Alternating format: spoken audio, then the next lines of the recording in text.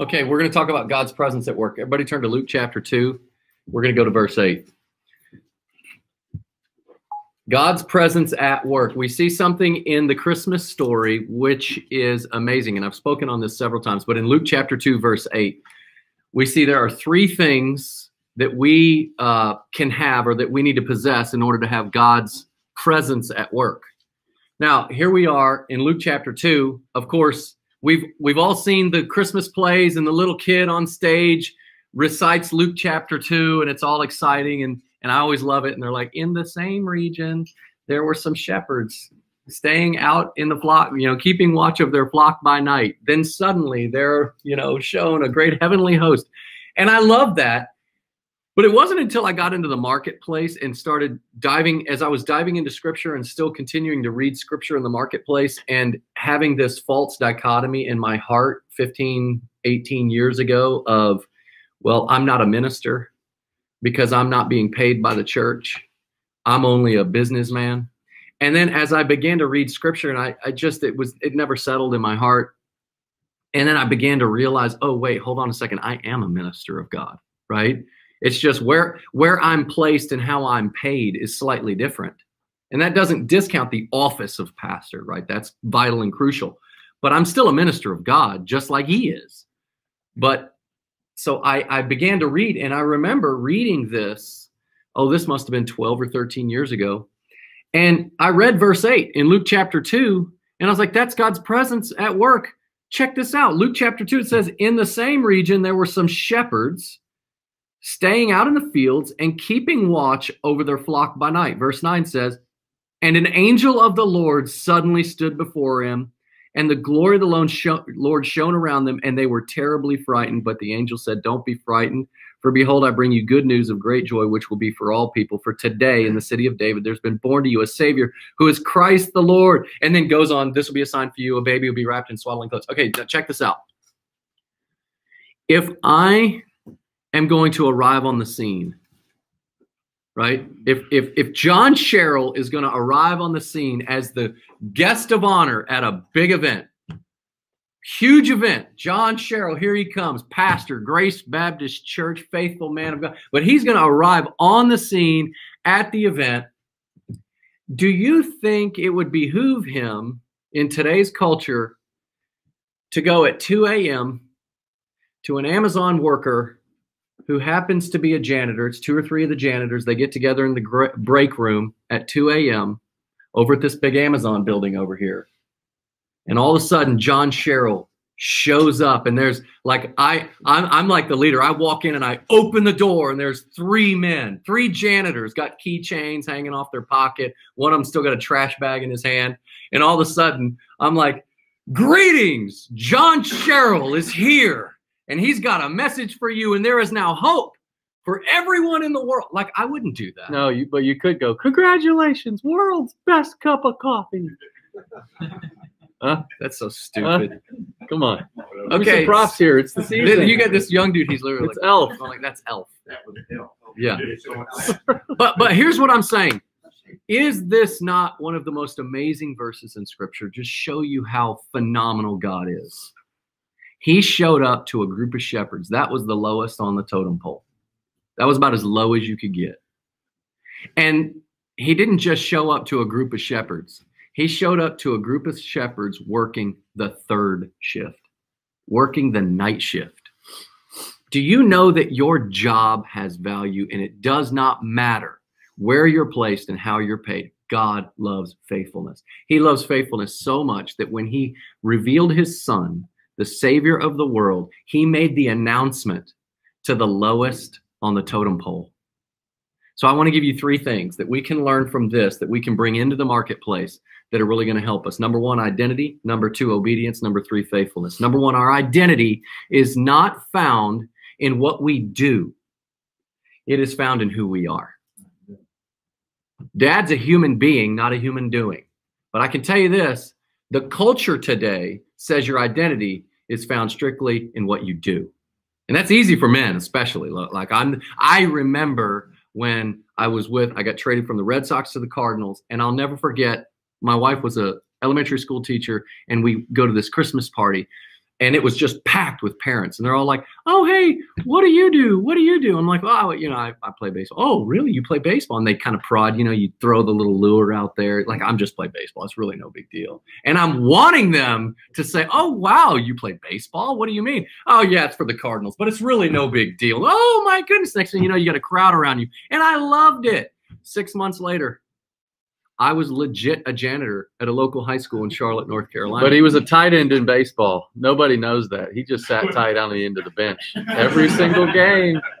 You know, you guys haven't listened. You've all heard that so many times. No, times. they haven't. You That was a laugh brand like a bunch of new schoolgirls. Okay, so here we are, six months later. Now I'm a janitor, and I'll never forget going to the Christmas party at the school. Or not not at the school, but this was you know another Christmas party, and I'll never forget. Some dude asked me, "So what do you do for a living?" I'm like, "I work at a school." you know, I did not want him to prod. All the Christmas parties previous, I have want people to prod because I'm cool, I'm legit, because my identity was tied in what I did. My identity was not tied in, into who I was. And so then I remember I did not, I I still was a janitor, and, and I look back now and I see what God was doing. I had to stay in that job until God broke me of my identity. And I surrendered and said, God, I, I'm going to be faithful to you no matter what. So I'm going to obey what you tell me to do, and I'm going to be faithful no matter what. Now I remember that breaking moment was a prayer, and and for the next few months, I really embraced my job, and I didn't just live with the grind, you know, just the old grind, you know, and I embraced it. I worked at it with all of my heart as unto the Lord, not as unto man. And then boom, everything in my life changed. But I know God was getting me there. So here these shepherds are. They're keeping watch of their flock. Now stop. Whose flock was it? Was their flock. Like God gives us all a flock. He gives us talents and abilities. God gives us families. God gives us communities. We're supposed to keep watch.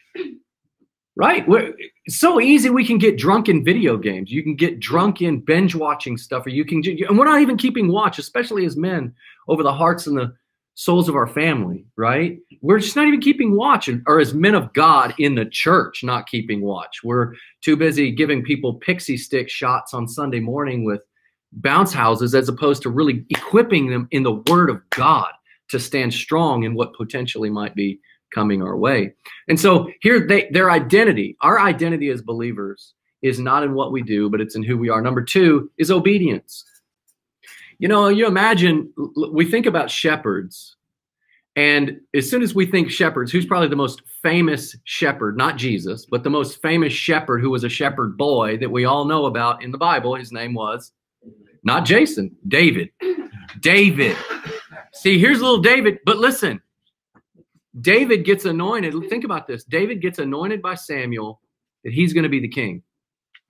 And after the anointing, David was keeping watch of his father's sheep. After. And then his dad says, Go and bring this food to the battle line. Was David obedient? Yeah. We See, he he didn't take this promise from God. I, I the, some of these prosperity preachers that are like, "You go get the promise. God made you a promise. You go get that promise." I'm like, for heaven's sakes, God made makes a lot of promises. Some of those we don't get until we're dead. Like He made a promise to John the Baptist. John the Baptist is in prison. Why is that dude standing at the door with a bag on his head and a sharp axe in his hand? Right? What about my promises? So I'm just saying that here David was, he had this promise of God, and yet he was committed to obedience. He obeyed his father. He, he was just radical obedience. And then God got David where he ultimately wanted him to go. And listen, if you're in a if you're in a a, a job that you feel has no worth or no significance, don't feel that. It does. Every single job has worth and significance. And for you scrub young kids that aren't working jobs, you're at school, your homework, the way that you honor your teachers, even if your teacher doesn't really like you, they probably don't like you for good reason. But you honor them, you obey, right? You obey. That word is not very politically correct. I'm not going to obey anybody. I'm my own authority. No, it's identity, obedience, and then the last one is faithfulness. It says they were keeping watch of their flock by night, even when it's hard. Man, that that third shift, Caleb Sherry, you remember working at Amazon uh, through the night? That's hard, isn't it? Didn't you fall? Some dude fell asleep going to the bathroom, didn't he? Yeah, Caleb's in the stall. This dude. This guy comes and tells me, he's like, And one night I just sat down there and I woke up like four hours later. this dude sits in the stall Wow. at night and wakes up four hours later. That would totally be me. But it's faithfulness. So it's identity, obedience, and faithfulness, guys. Listen, wherever we are, wherever we are, our identity is in Christ Jesus. Let's obey him with whatever he calls us to do. And let's be radically faithful. And when you're in that position, you put yourself into the presence of God. And he showed up this night. This is the angel, showed up and made his announcement to those men. Yeah, when you're faithful in your work, you are in a position where God can give you one of his divine visits. Let me ask you this. What were the what were the wise men? What were they keeping watch for? A star. What were the shepherd shepherds keeping watch for? Sheep. Whether God's giving you a star or sheep, don't sit there and look, I want to watch the star. That's what the pastors are doing. That's what the full-time ministers are doing. No, he says, no, no, no. You take care of sheep. And when you take care of the sheep, I'll show up. When you keep watch for the star, you don't know if God's got you in the position of the wise man, if God's got you in the position of the shepherd. All you got to do is keep watch over what he's given to you, and he promises he'll show up. In Jesus' name, amen. Done. Okay. All right.